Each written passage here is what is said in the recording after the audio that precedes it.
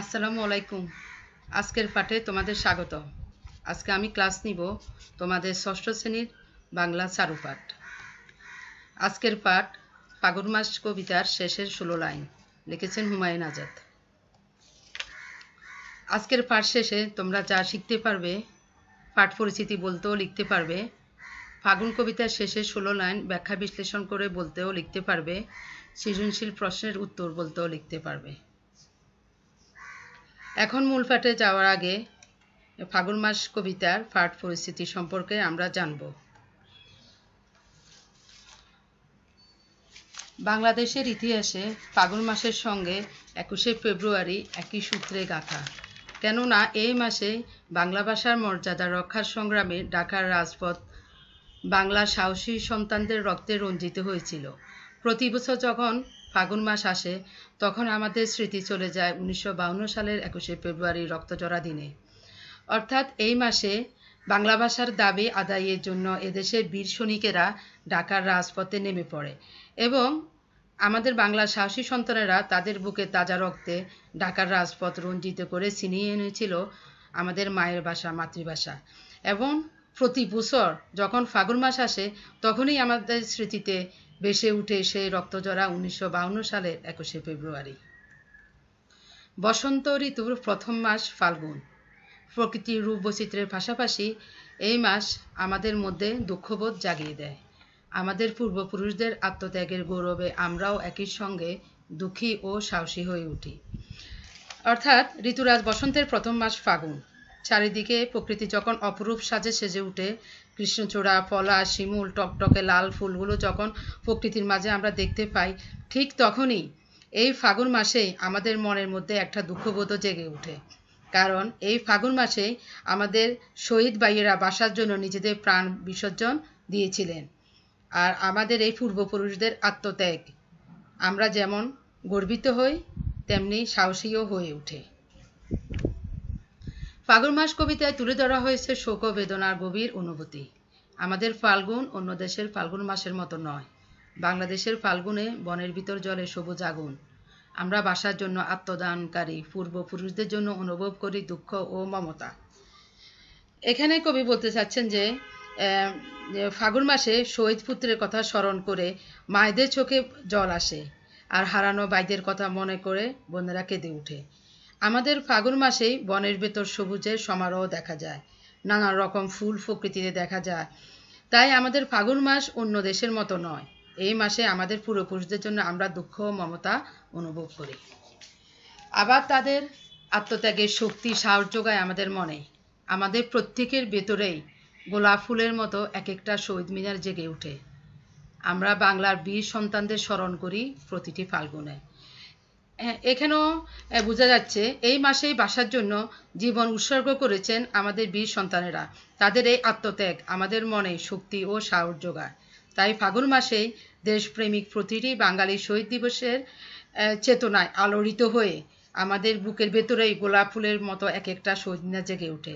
তাই আমরা গর্ব করে এই বীর সন্তানদের স্মরণ করি প্রতিটি ফাল্গুনে। এবার আমি ফাগুন মাস কবিতার শেষে ষোলো লাইন নিয়ে আলোচনা করব। ফাগুন মাসে ভাইয়েরা নামে পথে, ফাগুন মাসে দস্যু আসে রথে। এই দুটি লাইন দ্বারা কবি বোঝাতে চাচ্ছেন, উনিশশো সালের একুশে ফেব্রুয়ারি আমাদের বাংলার দামাল ছেলেরা বাসার জন্য আন্দোলন করতে গিয়ে শহীদ হন। তাদের আদর্শ নিয়ে বেঁচে আছে লাখো তরুণ। শহীদ ভাইদের আদর্শে অনুপ্রাণিত হয়ে, উজ্জীবিত হয়ে বাংলার দামাল ছেলেরা বারবার পথে নামে। দাবি আদায়ের সংগ্রামেও লিপ্ত হয়। ফাগুন মাসে ভাষা আন্দোলনকারীদের উপর পাকিস্তানি হানাদার বাহিনী আক্রমণ চালায়।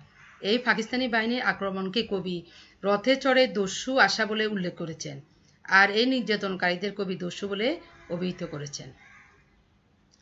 ফাগুন মাসে বুকের ক্রোধ ঢেলে, ফাগুন তার আগুন দেয় জেলে। এটি দ্বারা কবি বাসার শহীদদের হত্যার প্রতিবাদ ও বিক্ষোভকে বোঝাতে চাচ্ছেন। ফাগুন মাস স্মৃতি বিচরিত একটি মাস। এই মাসে পাকিস্তানিদের সেই নির্মমতারই স্মৃতি নিয়ে আসে, যারা আমাদের মুখের ভাষা বাংলাকে কেড়ে নিতে চেয়েছিল। তাই ফাগুন মাসে এলে এদেশের জনগণ সেসব বর্বর হত্যাকারীদের বিরুদ্ধে প্রতিবাদ ও বিক্ষোভে ফেটে পড়ে। তাই কবি বলেছেন ফাগুন মাসে বুকের ক্রোধ ডেলে, ফাগুন তার আগুন দেয় জেলে। বাংলাদেশের শহর গ্রামে চরে, ফাগুন মাসে রক্ত জোরে পড়ে। এই দুটি লাইন দ্বারা কবি বোঝাতে চাচ্ছেন, বাংলার প্রতিটি স্থানে ফাগুন মাসে এলেই মনে হয় রক্ত জোরে পড়ে। এই যে ফাগুন মাসের বেদনা, এই যে ফাগুন মাসের কষ্টমাখা অধ্যায় এটির কথা আমাদের মনে পড়ে যায়। অর্থাৎ ফাগুন মাস এলেই মনে হয় সমগ্র বাংলা জুড়ে একেবারে বিস্তার লাভ করে থাকে ফাগুনের একটা প্রভাব। একটা শোকের ব্যাপার লক্ষ্য করা যায়। আমাদের মনে পড়ে যায় আমাদের বাইদের আত্মত্যাগের কথা। ফাগুন মাসে দুঃখী গোলাপ ফুটে, বুকের ভেতর শহীদ মিনার উঠে। এই দুটি লাইন দ্বারা আমরা বুঝতে পারি যে যে আমাদের বুকের ভিতরে, আমাদের বাসার জন্য একটা ভালোবাসার অন্যরকম স্থান রয়েছে। বুকের ভেতর আমাদের বাসার জন্য যে ভালোবাসা, সেটি যেন এই ফাগুন মাস এলেই নতুন করে জেগে উঠে একেবারে বুকের ভিতর অন্যরকম স্থান করে নেয়। বুক তাই কবি বলছেন ফাগুন মাসে দুঃখী গোলাপ ফুটে বুকের ভেতর শহীদ মিনার উঠে। দুঃখী গোলাপ ফুটে এ কথাটি দ্বারা শোকের দিকটিকে ইঙ্গিত করা হয়েছে। এমনকি ফাগুন মাসে সেই গোলাপ ফুটে সেই গোলাপকে দেখে মনে হয় গোলাপের যেন অনেক দুঃখী। তাই গোলাপ ফুটলেও ভাষা আন্দোলনের নির্মম ইতিহাস আমাদের মনে পড়ে যায়।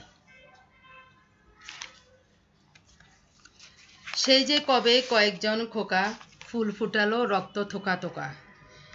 এই দুটি লাইন দ্বারা কবি হুমায়ুন আজাদ বুঝাতে চাচ্ছেন সেই বাসা শহীদদের কথা, যারা নিজেদের জীবনকে উৎসর্গ করে নিজেদের জীবনকে বাজি রেখে যারা বাসা আন্দোলনে নেমেছেন। আমরা জানি রাজপথ রঞ্জিত হয়েছিল সেই দিন তাদের রক্তে। পুলিশ তাদের উপর গুলি বর্ষণ করে তাদের রক্তেই রঞ্জিত হয়েছিল ঢাকার রাজপথ। সেইখানে শহীদ হন আমাদের প্রিয় বাসা শহীদরা। কবি তাদেরকে খোকা হিসাবে আখ্যায়িত করেছেন, কারণ তাদের বুকের রক্তে রঞ্জিত হয়েছিল বাংলার রাজপথ। আমাদের ঢাকার রাজপথ। সেখান থেকে আমরা শিখেছিলাম কীভাবে আন্দোলন করে একটা কিছু অর্জন করতে হয়। আমরা পেয়েছি আমাদের মাতৃভাষা বাংলা। গাছের ডালে পথের বুকে গড়ে ফাগুন মাসে তাদেরই মনে পড়ে। এখানে কবি বলছেন, প্রতিটি স্থানের কথা, প্রতিটি জায়গার কথা, আসলে সব জায়গায় যেন মিশে আছে আমাদের বাসার শহীদদের অস্তিত্ব। প্রতিটি জায়গায় যেন বাসার শহীদদের নিয়ে কথা বলছে। তাদেরকে যে আসলেই ভোলা সম্ভব নয়, সে কথাই কবি বলছেন। গাছের ডালে ফথের বুকে গড়ে ফাগুন মাসে তাদেরই মনে পড়ে। সেই যে কবে তিরিশ বছর হলো, ফাগুন মাসের দু চোখ ছলো ছলো বুকের ভেতর ফাগুন ফুসে বয়, তার খোগাদের আবার কি যে হয়। অর্থাৎ কবি হুমায়ুন আজাদ একটা দীর্ঘ সময় পর সেই সময়কার কথা স্মরণ করে এই কথাই বলছেন যে, এই ফাগুন মাসে আমরা একটা মহান কিছু অর্জন করেছিলাম। আমরা অর্জন করেছিলাম আমাদের মাতৃভাষা বাংলাকে।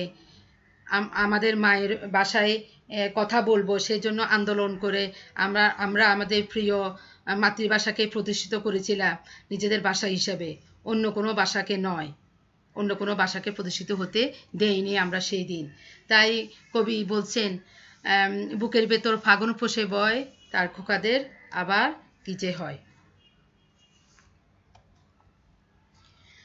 এবার তোমাদের পাঠ্য বইয়ের নমুনা প্রশ্ন, সৃজনশীল প্রশ্ন এক নিয়ে আলোচনা করব। আমরা এখানে একটি আলোকচিত্র দেখতে পাচ্ছি। এখানে এই আলোকচিত্রের আগে আমাদের হ্যাঁ, উদ্দীপকের এক নম্বর প্রশ্ন তোমার ফটিত ফাগুন মাস কবিতার প্রথম চরণে ফাগুনকে কি বলা হয়েছে? তাহলে এটার উত্তর আমরা এভাবে লিখতে পারি। ফাগুন মাস কবিতা প্রথম চরণে ফাগুনকে ভীষণ দোষী মাস বলা হয়েছে। এভাবে তোমরা উত্তর লিখতে পারবে। দুই নাম্বার প্রশ্ন, অর্থাৎ খ, ফাগুন মাসে কেন দুঃখী গোলাপ ফুটে? বুঝিয়ে রাখো। দুই নম্বর প্রশ্নের অ্যান্সারটা আমরা এভাবে লিখতে পারি যে, বুকের রক্ত দিয়ে আমরা ভাষা আন্দোলন করেছিলাম বলেই ফাগুন মাসে আমাদের হৃদয়ে দুঃখী গোলাপ ফোটে। আমরা যদি এটাকে একটু ব্যাখ্যা করে বলতে যাই যে উনিশশো সালের একুশে ফেব্রুয়ারি ফাগুন মাসে বাংলা ভাষার দাবি আদায়ে এদেশের ছাত্র সমাজ একশো চুয়াল্লিশ দ্বারা ভঙ্গ করে। তারা বুকে রক্ত জড়িয়ে ভাষার দাবি প্রতিষ্ঠা কর- করে আনে। তাই তাই ফাগুন মাসকে মাসেই দুঃখী গোলাপ ফুটে। আহ, এইভাবে তোমরা লিখতে পারো। গ নম্বর প্রশ্ন চিত্র কর্মটিতে তোমার পঠিত ফাগুন মাস কবিতার বিষয়গত মিল দেখাও। গ নম্বর প্রশ্ন। গ নম্বর প্রশ্নটা, তিন নম্বরের প্রশ্ন, আমরা এটা একটু বিশ্লেষণ করে লিখতে পারি যে চিত্র কর্মটিতে আমার পঠিত ফাগুন মাস কবিতার বিষয়গত মিল রয়েছে। এভাবে প্রথমে শুরু করবে। এভাবে এখানে ভাষা আন্দোলন ও ভাষার জন্য আত্মত্যাগের অনুভূতি প্রকাশ পেয়েছে। এরপরে যখন আমরা এটা আর একটু বিশ্লেষণ করে বলতে চাই যে একুশের ভাষা আন্দোলনে বাঙালি জাতীয় জীবনে এক গভীর তাৎপর্যময় ঘটনা। এই আন্দোলনে বাঙালির প্রিয় মাতৃভাষা, বাংলা রাষ্ট্রভাষা হিসেবে মর্যাদা পায়। তারপরে উদ্দীপকের চিত্রটি আমাদের ভাষা আন্দোলনের কথা সরিয়ে স্মরণ করিয়ে দেয়। এই চিত্রে মাতৃভাষার বর্ণমালা আমরা দেখতে পাই যা বাঙালির কিংবা আমাদের শ্রেষ্ঠ অহংকার। ফাগুন মাস কবিতা কবি ফাগুন মাস কেন আমাদের হৃদয় চির অম্লান তার বর্ণনা দিয়েছেন। ফাগুন মাসের আট তারিখে উনিশশো বাউন্ন সালের একুশে ফেব্রুয়ারি ভাষা আন্দোলন সংগঠিত হয়েছিল এবং অনেকে প্রাণ দেন মাতৃভাষার জন্য। যে আত্মত্যাগ তা কবিতার শেষ কয়টি লাইনে উপস্থাপনা করেছে। এদিক থেকে বিবেচনায় আম, আহ, আম- আমরা বলতে পারি উদ্দীপকের চিত্রটি আমার পঠিত ফাগুন মাস কবিতার ভাষা আন্দোলন ও আত্মত্যাগের দিকের সঙ্গে অভিন্ন হয়ে উঠেছে। ঘ নম্বর প্রশ্ন চিত্রকর্মটি ফাগুন মাস কবিতার বাপকে ধারণ করেছে তোমার উত্তরের পক্ষে যুক্তি দাও। এই প্রশ্নের উত্তরটা আমরা এভাবে লিখ- লিখতে পারি যে চিত্রকর্মটি ফাগুন মাস কবিতার ভাবকে ধারণ করেছে উক্তিটি যথার্থ। আমাদের বীর আমরা বীর বাঙালি জাতি আম, আমাদের প্রিয় মাতৃভা মাতৃভাষা আমরা শত্রুদের কাছ থেকে ছিনিয়ে নিয়েছি আমরা আমাদের দাবি আদায় করে নিয়েছি এদেশের সাহসী সন্তানেরা যেভাবে সংগ্রাম করেছিল সেটা অতুলনীয়। তাদের আত্মত্যাগ ও সংগ্রামী চেতনা উদ্বুদ্ধ হয়ে বাঙালি জাতি বিভিন্ন সংগ্রামেও বিজয়ী হয়।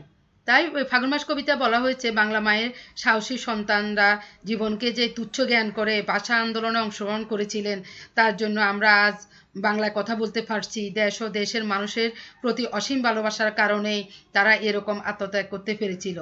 তাই উদ্দীপকের চিত্র কর্মটি দেখে ভাষা আন্দোলন সম্পর্কে শিশুরা জানতে আগ্রহী হবে এবং ভাষা আন্দোলন ইতিহাস শুনলে তাদের মনে আত্মত্যাগের মতো মত অনুভূ- অনুভূতিও জাগ্রত হবে। তাই এখানে উদ্দীপকের চিত্রকর্মটিতে ভাষার জন্য আত্মত্যাগের বিজয় গাথা, বাঙালি জাতের অহংকারের প্রতীক প্রতীক, ফাগুন মাস কবিতার ভাবকে ধারণ করেছে। তাই বলা যায় উক্তিটি যথার্থ। আশা করি তোমরা সৃজনশীল প্রশ্ন যেভাবে আসে ফাগুন মাস কবিতা থেকে তোমরা লিখতে পারবে। তোমাদের পাঠ্য বইয়ের নমুনা প্রশ্ন, দুই নাম্বার, সৃজনশীল তোমাদের বাসার পড়া থাকবে, তোমরা এটা বাড়ির কাজ করে নিয়ে আসবে। তাহলে আজকের পাঠে এখানে সমাপ্তি। তোমরা ভালো থাকবে, সুস্থ থাকবে। আল্লাহ হাফিজ।